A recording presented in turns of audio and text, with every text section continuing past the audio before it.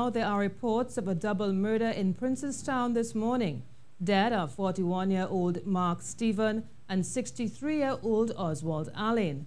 According to reports, the two men got into a van around 4.30 this morning at Stevens's Valley Lane, New Grant home, but were ambushed two minutes later by a gunman who shot them both. Residents say they heard gunshots and when they checked, they found Stephen slumped in the front passenger seat and his friend Ozzy behind the steering wheel. The two were pronounced dead on the scene.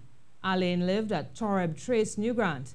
Mark Stevens' sister says he was like a savior.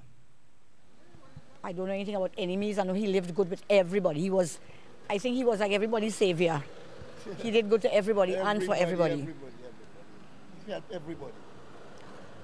Yeah. What do you think could be the reason for, for, for, for this? Don't have an, I don't have this. I don't have a clue. I know he was going to work. Yes. What kind work he does? He's a diver. He is a diver. He came out, the sun, he came to take up a workman here, and by the time he got here, they shot him.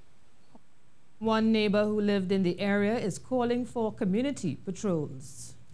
We should have more community policing. I believe that the community should do a little more networking internet-wise, set up more cameras, and be a little more vigilant towards the surroundings that we live in. Even so, though this is a quiet village, and situation like that, we need just hit home.